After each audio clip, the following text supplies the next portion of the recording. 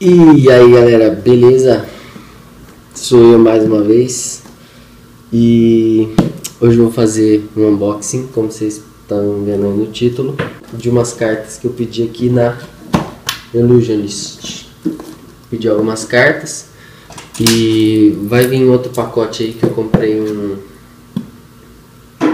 um uncut sheet, né, que é o, o cartão sem cortar das cartas.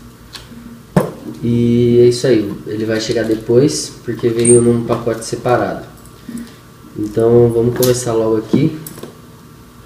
Abrir aqui. Abrir.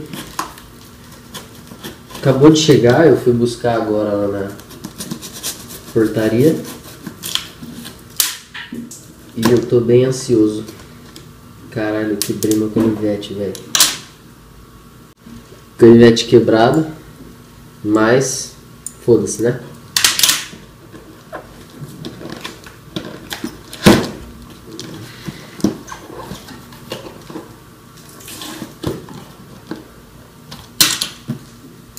Vamos abrir aqui.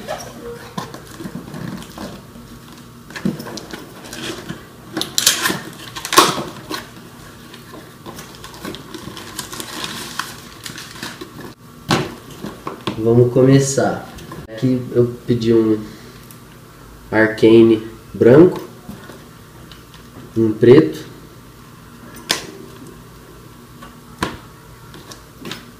dois Black Tigers, são é meu baralho favorito. É um Artifice Mini branco, Tundra e um roxo. Aí tem um Artifice azul, segunda edição, um LTD roxo,